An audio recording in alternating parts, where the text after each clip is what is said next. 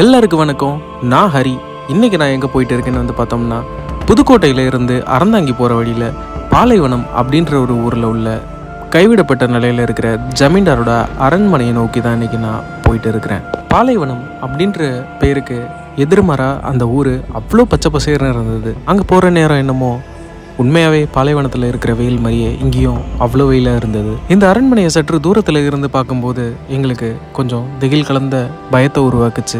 இந்த அரண்மனையை பற்றி சில உள்ளூர் மக்கள்கிட்ட நாங்கள் கேட்கும்போது இந்த அரண்மனையானது கிபி பதினெட்டாம் நூற்றாண்டு இறுதியில் கட்டப்பட்டதுன்னும் இதில் ஜமீன்தார் குடும்பம் வசிச்சுக்கிட்டு இருந்தாங்க.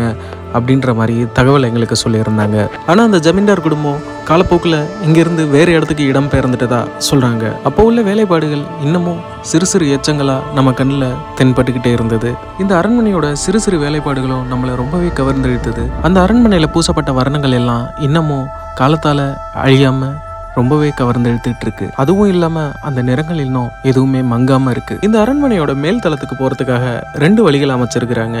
அதில் ஒரு வழி முற்றிலும் சிதை விட்டுருச்சு இன்னொரு வழியால் தான் இப்போ நம்ம போயிட்டு இருக்கோம் இந்த ஒரு வழியில் தான் இந்த படிகள்லாம் இருக்குது இந்த படிகள் எல்லாமே வந்து பார்த்தோம்னா சுண்ணாம்பு மற்றும் முட்டை கலந்த பூச்சிகளால் ரொம்ப அழகாக நேர்த்தியாக கட்டியிருக்கிறாங்க. இன்னமும் அந்த பளபளப்பு தன்மை இந்த படிகளில் இந்த பக்கவாட்டு சுவர்ல எல்லாம் இன்னமும் இருக்குது ஒரு வழியாக இந்த படிகளை கடந்து நான் இந்த அரண்மனையோட மேல் தளத்துக்கு வந்துட்டேன். மேல் தளத்துக்கு வந்து பார்த்தோன்னு தான் ரொம்ப அதிர்ச்சி அளிக்கக்கூடிய காட்சிகள். அதை நீங்களே பாருங்கள் இந்த அரண்மனை எவ்வளோ சிதைவடைஞ்சிருச்சு அப்படின்றத. என்னதான் இந்த அரண்மனை ஒரு சின்ன அரண்மனையாக இருந்தாலும் இதோட அழகை வர்ணிக்கிறதுக்கு வார்த்தைகளே இல்லை. அவ்வளோ அழகாக இந்த கட்டடக்கலை இருந்துச்சு. இந்த அரண்மனைக்கு நூறு சதவீதம் அழகு சேர்க்கறது எதுனா இந்த அரண்மனையோட முன்பகுதியில் அமைஞ்சிருக்கிற இந்த கோபுரம் போல ரெண்டு அமைப்புகள் தான். அவ்வளோ அழகாக நேர்த்தியாக பழைய வர்ணங்களோட இன்னமும் நிறம் மங்காமல் அவ்வளோ அழகாக இன்னமும் காட்சி அளிச்சுக்கிட்டு இருக்கு. எனக்கு தெரிஞ்சு இந்த அரண்மனை இன்னும் சிறிது காலங்களில் அழிஞ்சிரும்னு தான் நான் நினைக்கிறேன்.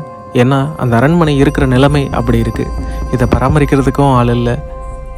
அதனால் யார் யாரெல்லாம் பார்க்கணுன்னு ஆசைப்பட்றீங்களோ எவ்வளோ சீக்கிரம் போகணுமோ அவ்வளோ சீக்கிரம் போய் இந்த அரண்மனையை பார்த்துட்டு வந்துடுங்க அப்போது தான் எஞ்சி இருக்கிற அழகையாச்சும் நம்ம ரசிச்சுக்கலாம்.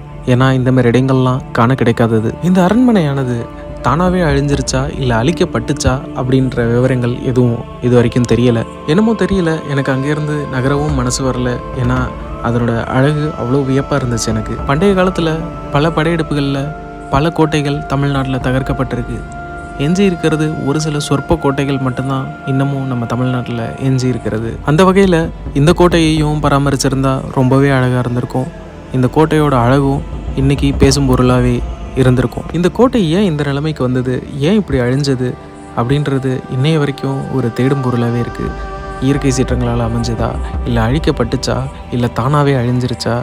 அப்படின்றது எதுவுமே தெரியாத ஒரு கொடுமையில தான் இந்த அரண்மனையோட நிலைமை இருக்குது. இந்த அரண்மனை போலவே இன்னொரு சிதலமடைந்த ஒரு பராமரிப்பற்ற ஒரு சிவன் கோயிலும் இந்த அரண்மனைக்கு அருகாமையிலே இருக்கின்றது இன்னொரு கொடுமையிலேயும் ஒரு கொடுமையான ஒரு விஷயம். அந்த சிவன் கோயிலை பற்றி நான் இன்னொரு பதிவில் உங்களுக்கு விளக்கம் கொடுக்குறேன். இப்போது இந்த காலத்தில் நம்ம இப்படி ஒரு கோட்டையை கட்ட முடியுமா? அப்படின்றது ஒரு கேள்விக்குறியான ஒரு விஷயமா தான் இருக்குது ஆனால் இதை வந்து நம் முன்னோர்கள் அப்போவே சாத்தியமாக்கி இருக்கிறாங்க. அப்படின்னா நம்ம தமிழ்நாட்டில் இருந்த பல கோட்டைகள் நம் முன்னோர்கள் கைவண்ணத்தால் எவ்வளோ அழகாக இருந்திருக்கும் அப்படின்றத இப்போ நம்ம கற்பனையில் மட்டும்தான் பார்க்க முடியும். இந்த மாதிரி கற்பனை பண்ணி பார்க்க வேண்டிய நிலைகள் வேண்டான்னு நினச்சோம்னா இந்த மாதிரி கோட்டைகள் எல்லாமே நம்ம பாதுகாத்திருக்கணும். ஆனால் நம்ம அதை தவறிட்டோம். எஞ்சி இருக்கிற இந்த எச்சங்களையாச்சும் பாதுகாக்க முடியுமா அப்படின்றதும் ஒரு கேள்விக்குறியான ஒரு விஷயம்தான். இந்த அரண்மனையை பாதுகாக்க முடியலைனாலும் சேதப்படுத்த வேண்டாம் தான் நான் நினைக்கிறேன். சரி யார் யாரெல்லாம் இந்த பதிவை பார்க்கறதுக்கு முன்னாடியே இந்த பாலைவனம் ஜமீன் கோட்டைக்கு போயிருக்கீங்க?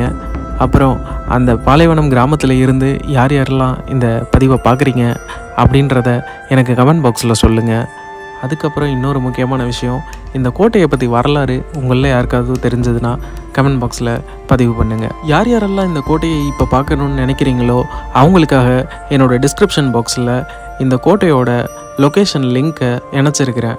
அதை பயன்படுத்தி இந்த கோட்டையை எவ்வளோ சீக்கிரம் நீங்கள் பார்க்க முடியுமோ அவ்வளோ சீக்கிரம் போய் பார்த்து இதோட அழகை ரசிச்சுட்டு வந்துடுங்க ஏன்னா காலப்போக்கில் இதுவும் இருக்காது அப்படின்றது தான் நிதர்சனமான உண்மை.